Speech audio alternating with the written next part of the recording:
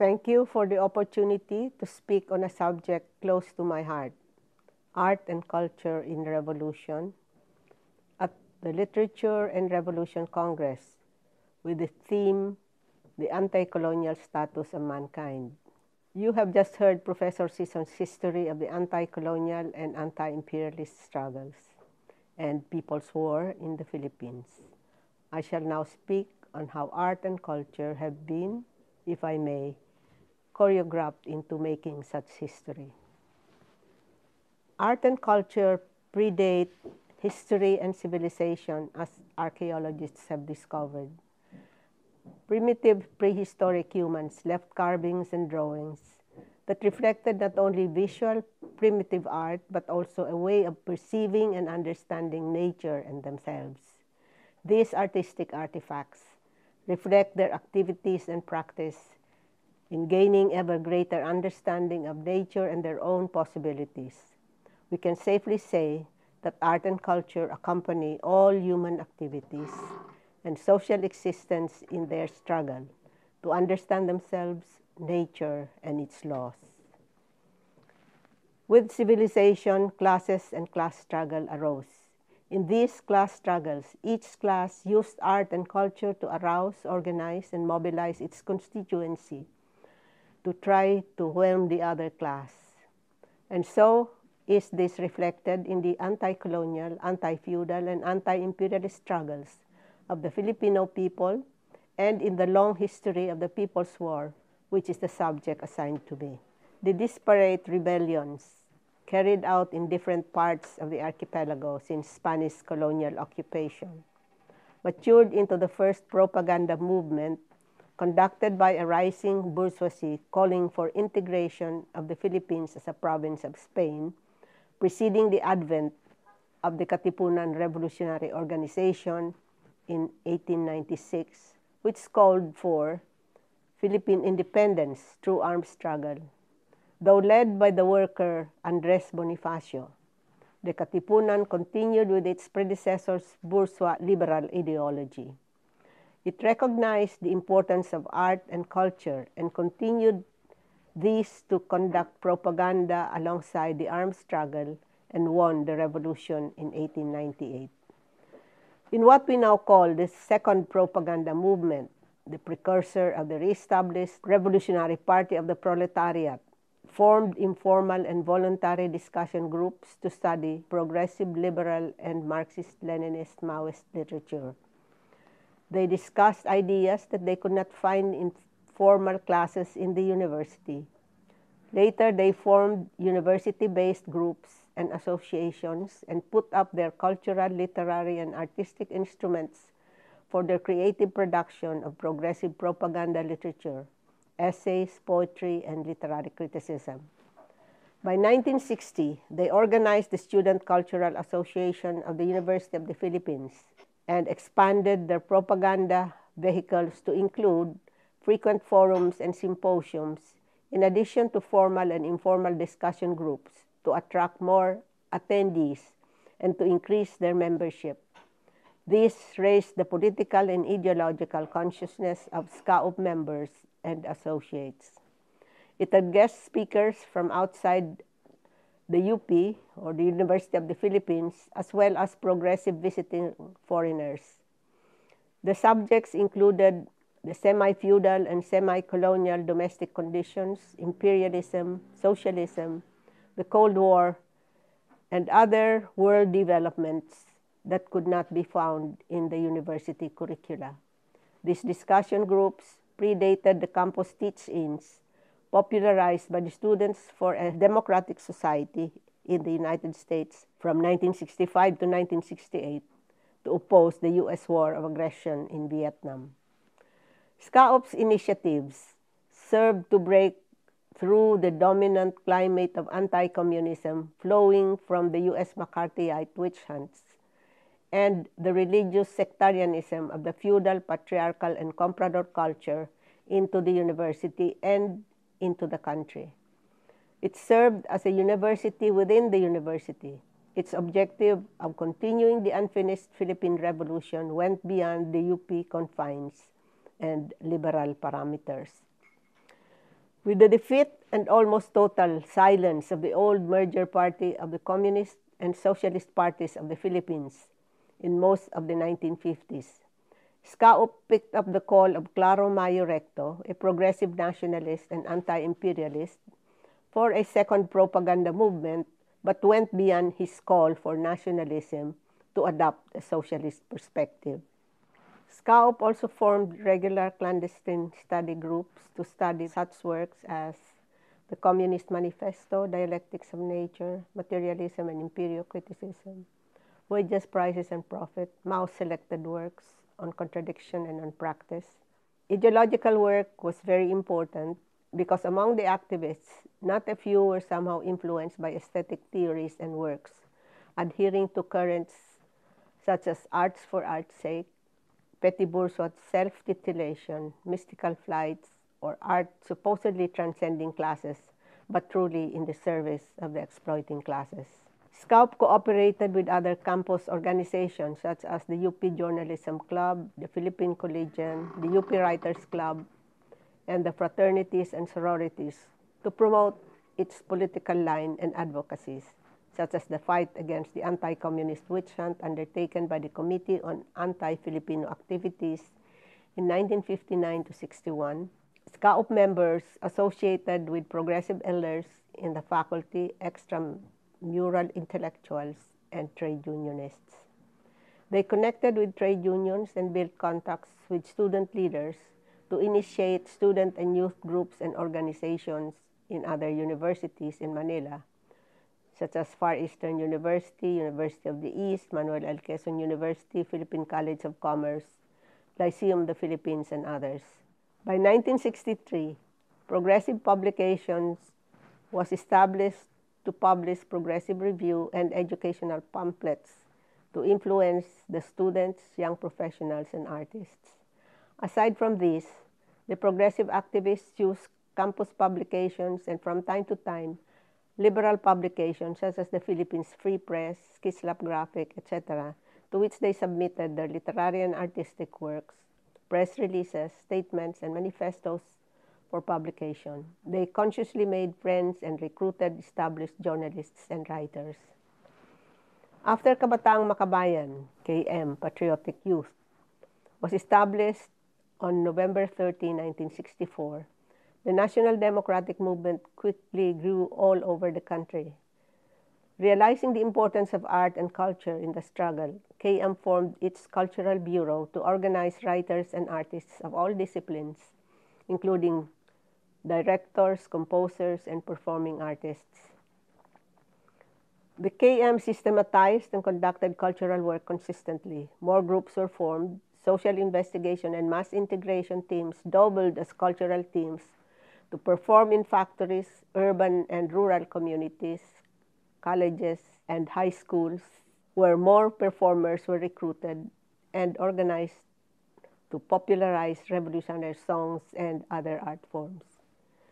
Doing propaganda and cultural work among the masses necessitated the use of the national language or the regional lingua franca.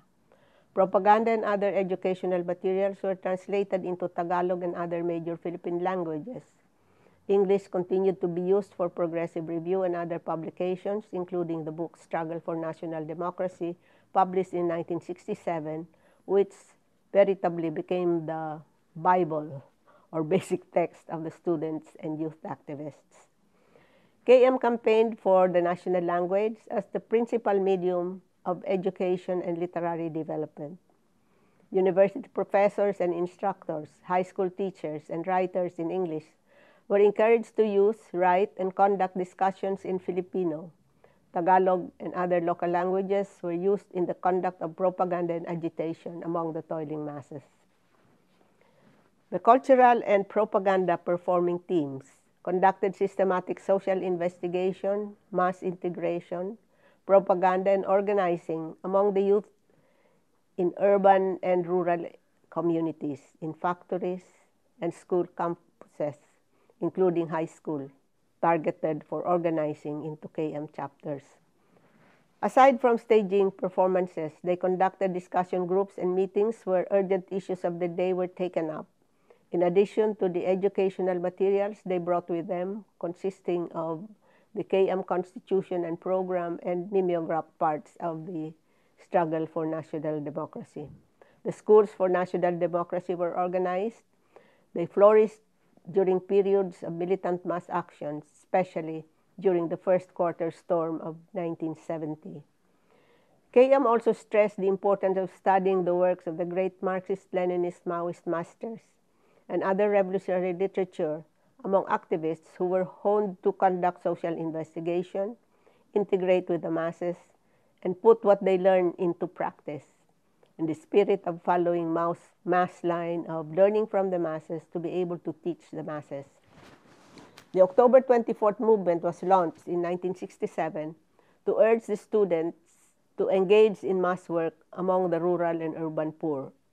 In their mass work, activists learned at first hand the concrete manifestation of the evils of U.S. imperialism and their subservient domestic ruling classes of landlords and compradors, and the double exploitation and oppression these imposed on the toiling masses. They learned how to expose these evils, to imbibe the aspirations of the masses for a better life, and work out with them the tactics of fighting the manifestations of these evils in their localities. Thus, they were able to produce propaganda, literature, and art of social and revolutionary significance that easily resonated with the masses and inspired them to join the movement. Towards the reestablishment of the Revolutionary Party in 1968, intensive ideological, political, and organizational work were conducted. Aside from drafting and discussion, basic documents, including the rectification document, rectify errors and rebuild the party in preparation for the Congress of Reestablishment, revolutionary literature and artistic works were produced to inspire the masses.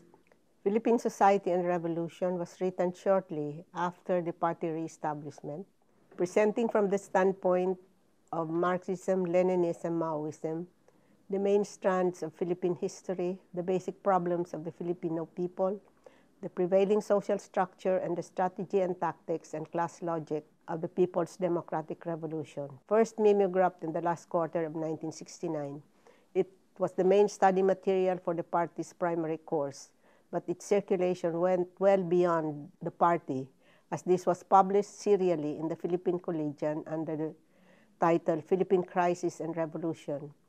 Its first printed edition was published in the third quarter of 1970, followed by the first foreign edition published by Ta Kung Pao in Hong Kong. With the founding of the CPP in 1968, cultural work became much more systematized. The cultural, the propaganda, and the translation bureaus were organized under the Education Department more cultural groups were organized in the regions, provinces, and communities.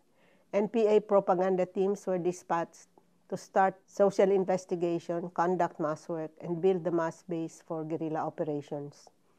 Among the first groups they organized were those of cultural workers, painters, reciters of poems, actors, musicians, singers, dancers, etc., especially among the youth and the women in the communities. Cultural work was well developed by the time the first quarter storm broke out. Groups such as KM's Panday Sining, Art Smithy, Samahang Demokratiko ng Kabataan, SDK, Democratic Youth Association, Gintong Silahis, Golden Ray, and the Philippine College of Commerce's Kamanyang frankincense, did outstanding work among youth organizations in Manila and became models for youth and student cultural groups that proliferated in the provinces and regions. Performing groups arose in the late 1960s to present solo and choral singing, instrumental music, poetry recitations, dances, and skits, and to create illustrations on publications, posters, and walls in order to enliven and invigorate the meetings, mass protests, and workers' strikes. Writers and artists organized themselves. Panulat para sa kaunlaran ng sambayanan. Pen for the prosperity of the people. Paksa was founded in 1971 by creative writers in Filipino and English and other major Philippine languages who were determined to serve the Filipino people. Fine arts and architecture students and young professionals from the University of the Philippines and other universities founded the nagkakaisang progresibong mga artista at arkitekto, United Progressive Artists and Architects, NPAA, also in 1971. Most of them were members either of SCAOP or KM and had been very much involved in propaganda work in either of these organizations. Many creative writers and artists joined the underground and the armed revolutionary movement and created more works about the dire social conditions, the sacrifices and struggles of the Filipino people. Literature and art flourished most among NPA propaganda and cultural teams with the masses in the countryside. The central and regional publications of the CPP, NPA, and NDF published songs, poems, short stories, and illustrations cultural organizations published, performed, or exhibited the literary and artistic works of their members. Songs, poetry, recitations, and educational lectures were popularized through audio cassettes, recorders, and players. Revolutionary songs were recorded and reproduced for distribution to the provinces and regions for popularization. They were performed in celebrations and community gatherings in urban and rural communities primary and elementary schools children sang them while at play. When martial law was proclaimed, artists and creative writers joined the underground and became red fighters, and at the same time practiced their craft. Their works were published in the revolutionary publications. Many writers and artists were abducted and tortured, became martyrs, and many more were imprisoned. Fascist repression took a toll as party cadres and members were captured and imprisoned. But it was futile for the fascist regime to detain them.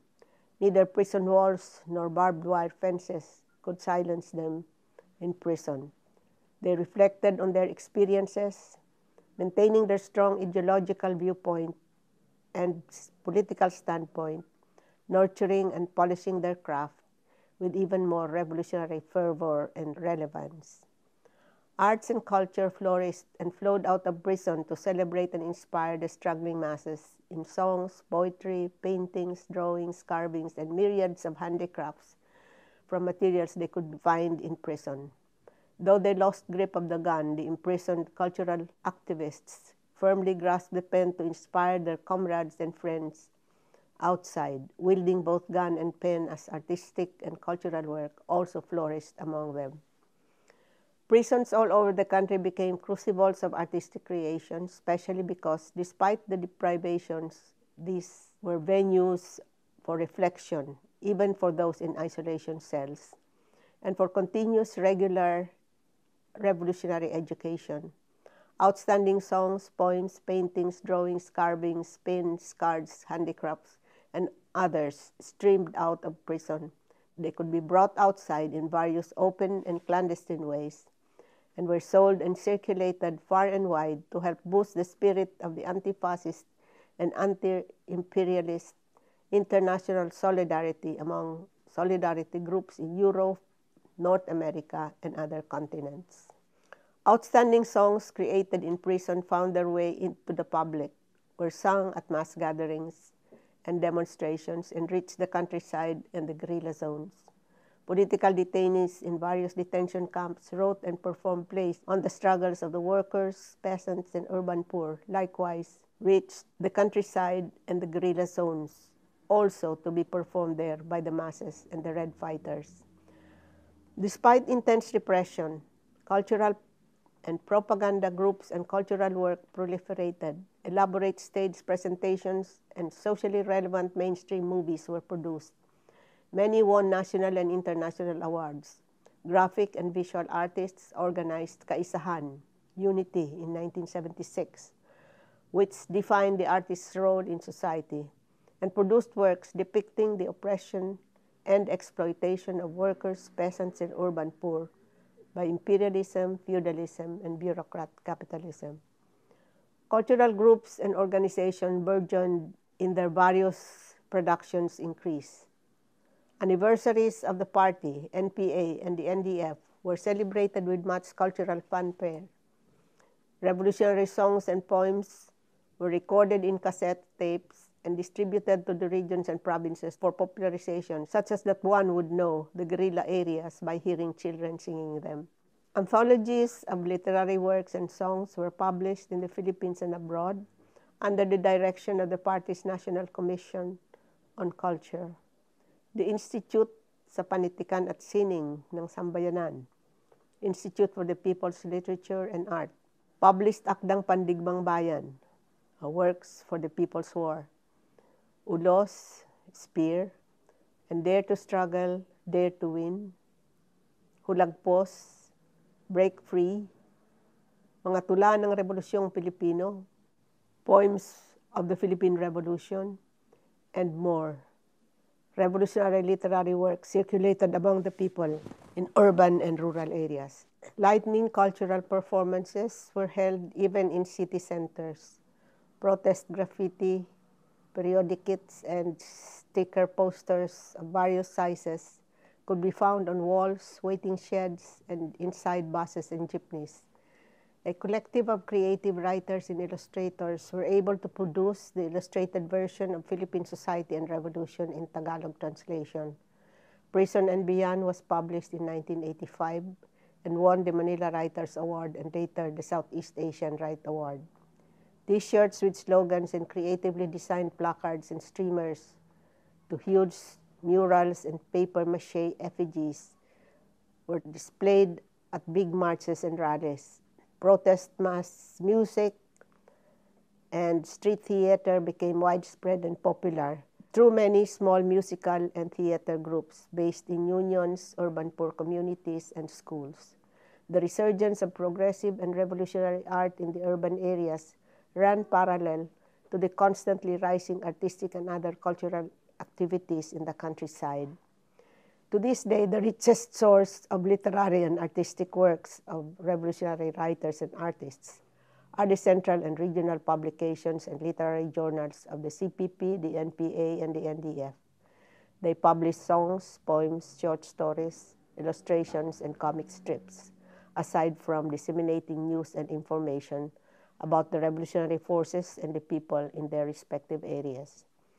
An outstanding achievement of Filipinos abroad and the Philippine International Solidarity Movement was the Permanent People's Tribunal session on the Philippines from October 30 to November 1, 1980. It found the fascist dictator Marcos guilty of grave and numerous economic and political crimes against the people in the Philippines and declared him unfit to govern and subject to severe punishment for his past wrongs. It also condemned the U.S. government for its role in sustaining, supporting, and pushing Marcos to act on the U.S.'s own economic and global strategic interests. The CPP and the National Democratic Movement in both urban and rural areas gained momentum and grew in size and strength during the pre-martial law and martial law rule of Marcos, despite the counterinsurgency strategy using the triad concepts of intelligence, psywar, and combat operations under the AFP's Oplan Katatagan, stability. Marcos's assassination of Aquino led to an upsurge in the anti-fascist struggle that before long convinced the U.S. policymakers to drop Marcos, encouraged a fraction of the military to organize themselves into the Reform the Armed Forces movement against Marcos and support the anti-Marcos reactionaries to try to drive a wedge between the rapidly growing alliance between the anti-Marcos reactionaries and the revolutionary forces.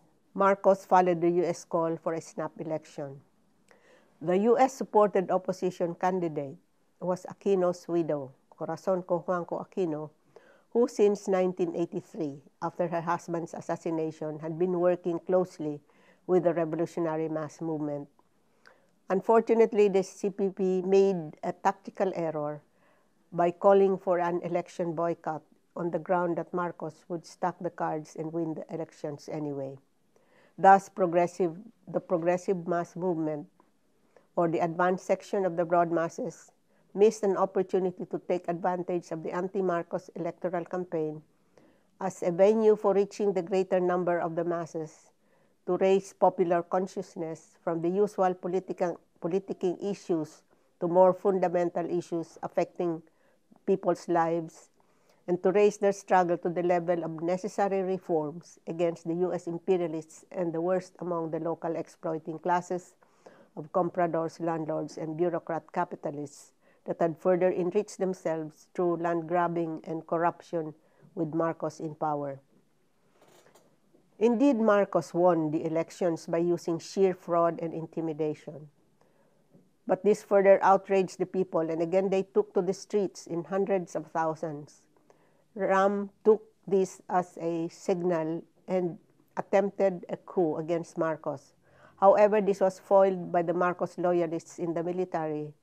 Fortunately for the Ram, the mass movement combining with the Catholic Bishops' Conference of the Philippines, or the church, led by Jaime Cardinal Sin, and the Aquino supporters came to their rescue in the EDSA uprising that led more of the military to abandon Marcos. Finally, the Marcos fascist dictatorship fell. Marcos's fall catapulted Corazon Aquino to the presidency. She declared a revolutionary government and made good on her promise to release all political prisoners. The goodwill built through the United Front with the anti-Marcos reactionaries during the anti-Marcos struggle lasted for a while, but did not last long, as Aquino remained in the clutches of the U.S. and the military. Progressives he appointed to the cabinet were later removed or forced to resign. Repression returned with the Mendiola massacre of peasants and their urban supporters on January 22, 1987, and by February, Aquino unsheathing the sword of war. Behind the bourgeois constitutional processes, militarization and repression of the basic masses and the progressive forces intensified. Massacres, assassinations, attempted and successful, and all sorts of state atrocities occurred under the regimes Oplan Lambat Bitag I and II. These campaigns did some damage to the revolutionary movement but did not break it, despite the fact that these coincided with the growth of internal ideological, political, and organizational errors, which ironically resulted from the successes in the revolutionary armed struggle, but induced erroneous notions of quick victory deviating from the strategic line of People's Democratic Revolution through protracted People's War of building strength in the countryside to surround the cities before the strategic offensive to seize the cities. The succeeding regimes of Ramos, Estrada, Arroyo, and Noynoy Aquino were not much different. Ramos revived the negotiations for peace negotiations with the National Democratic Front representing the revolutionary forces. The negotiations completed the first substantive agenda with the two-panel signing of the Comprehensive Agreement on Respect for Human Rights and International Humanitarian Law, or the CARIL. Notwithstanding the negotiations, Ramos continued his regime's counterinsurgency campaign, Oplan Lambat Bitag 3 and 4. However, the NDF and the revolutionary forces competently handled the propaganda and educational aspects of the peace negotiations and continued to wage tit-for-tat struggles to counter every attempt of the reactionaries and the military to undermine and violate the agreements reached. The start of the Ramos administration coincided with the start of the party's rectification movement. The significant losses in some parts of the party work ranging from the party itself, the People's Army, the United Front, and the mass movement drove the leadership to reassess their experience and identify the reasons for the revolutionary movement to fall into such threatening situation. They held the 10th plenum, which decided to conduct the second great rectification movement in all aspects of the party's work. The rectification documents reaffirm our basic principles and rectify errors stand for socialism against modern revisionism, and general review of important events and decisions from 1980 to 1991 were issued and distributed for study by the entire party membership in a massive education movement conducted to reaffirm the party's ideological, political, and organizational line. The revolutionary forces worked hard in the recovery effort and overcame the series of deceptively named counterinsurgency plans of successive post-Marcos presidents after Aquino's Lambat Bitag, net trap, and Pagkalinga, nurture under President Ramos, Oplan Makabayan, patriotic under Estrada, Oplan Enduring Freedom, Bush so-called anti-terrorism plan, adopted by Arroyo. Oplan Bayanihan, Mutual Cooperation by Aquino the Son, and now Oplan Kapayapaan and Kapanatagan under Duterte. Three more international People's Tribunal were held. The Permanent People's Tribunal second session on the Philippines held in The Hague, the Netherlands, brought against President Arroyo and U.S. President George W. Bush on March 21 to 25, 2007. The International People's Tribunal held in Washington, D.C. on July 16 to 18, 2015, brought against President Aquino and U.S. President Obama. And the International People's Tribunal held in Brussels, Belgium on September 18 to 20, brought against President Duterte and U.S. President Trump. Generally, propaganda and protest art thrived from 1992 to 2016 with rich revolutionary substance and varieties. An abundance of books of poetry and short story collections, conferences and assembly proceedings, commemorative volumes of major and minor national and regional organizations were published. This particular period is very well documented in books, pamphlets, videos, internet blogs, and other media.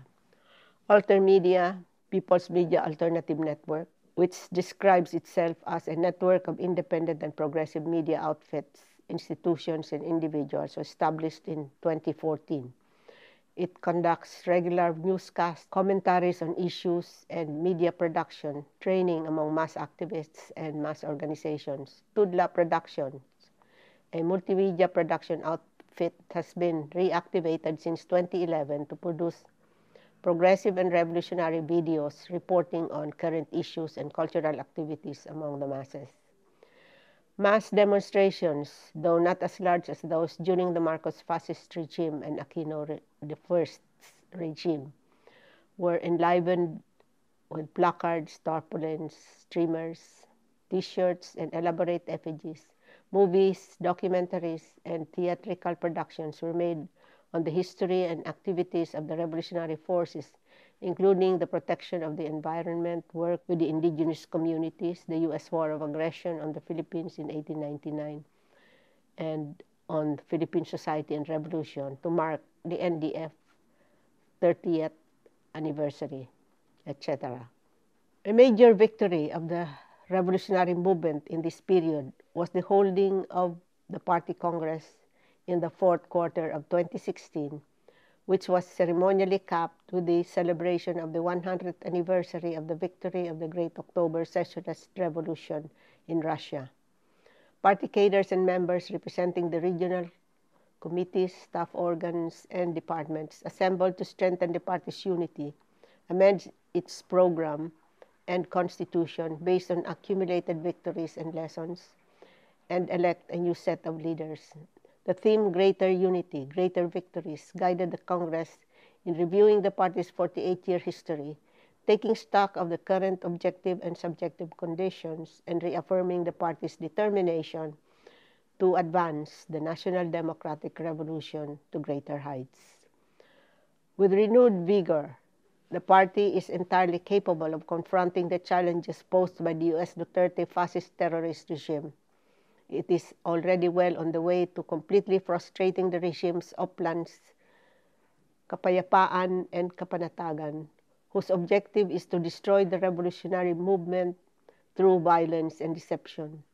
The deadline for destroying the revolutionary movement has been moved from the end of 2018 to the middle of 2019 and further on to 2022 having survived and prevailed over so many failed U.S. instigated and supported Oplans from Marcos down to Aquino II, the party and the people are confident and certain that Duterte's Oplans would fail miserably and the National Democratic Movement would grow in strength and move closer to victory. The real intent of Duterte's feint on, at peace negotiations has been exposed as a mere maneuver to advance his desperate wish to gain absolute power through the imposition of a fascist dictatorship, with him as dictator for the rest of his life and perpetuated through his children for them to continue grabbing wealth through fraud and bureaucratic corruption. The underground revolutionary forces and the legal mass movement are growing. New alliances are forming to intensify the struggle against the tyranny and terrorism. A worldwide movement against Duterte's tyranny is gradually gaining ground and needs solidarity from peoples all over the world. Organizations of Filipinos abroad are expanding and strengthening themselves in building a broad united front of solidarity organizations to expose, oppose, and fight the Duterte terrorist regime. Cultural workers and artists must now take up such protest themes as agrarian problems, foreign economic domination, export of cheap labor, exploitation of women and children, and ecological damage while they express their aspirations for genuine freedom and combat the neoliberal attacks, including those on progressive Philippine culture. Let me cite 1 Billion Rising as a successful and vibrant propaganda campaign worthy of emulation. It started as a movement of feminist gender identity politics but evolved to revolutionary politics by raising its demand to comprehensive anti-imperialist and anti-reactionary concerns. Now its demand goes well beyond the struggle against violence against women and patriarchy to the advocacy of women's rights, the protection and defense of indigenous lands and the rights of indigenous people, struggle against fascism and tyranny, discrimination and racism, environmental plunder and destruction, corporate greed, economic violence, poverty, state brutality and repression, war, and militarism.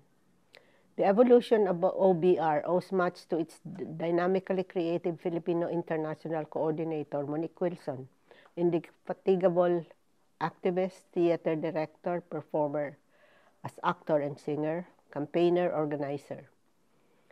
OBR choreographs the truth of the people's struggle against the lies and falsifications of the monopoly capitalists and all their reactionary agents. It presents an excellent vehicle and opportunity for expanding and consolidating our artistic and cultural work. This means further organizing and educational efforts to deepen anti-imperialist and revolutionary commitment and militancy among the masses. Let us conclude with an exhortation to artistic and cultural workers. Let us train ourselves to understand and deal with facts and events as these unfold in the real world conditions experienced by the toiling masses. Let us not confine ourselves in ivory towers, honing our individual skills, imagination, and crafts away from the real world and the masses. Let us study current events, study history, immerse ourselves among the masses in their struggles, and in the course of our struggle, develop together with them the people's culture and art based on concrete realities. Let us contribute our utmost to the people's unified cultural offensive against imperialism, aware that its overwhelming dominance necessitates strong organizations with strong leadership, guided by the ideology, politics, and methods of the party of the most advanced and most productive class in our society today. Especially in this age of the internet and multimedia. Let us also help build powerful alternative and counter media, powerful in that they are able to support the people's struggle and effectively amplify the people's voice and in turn find resonance in and draw concrete support from the masses in their millions and billions. It is not enough for us to compete on shallow grounds with imperialism in such superficial terms as trending hashtags, viral YouTube views, and TV ratings. Let us avail of the electronic and digital media in our own revolutionary way. More important to us are the long term results measured in the sustained growth by leaps and bounds of the anti imperialist mass organizations and mass movements at the national and international levels. Let us help build many channels flowing in one general direction. Many small rivulets of the people's struggles eventually conjoining into one endless current of strength to swamp the cultural bastions of the enemy.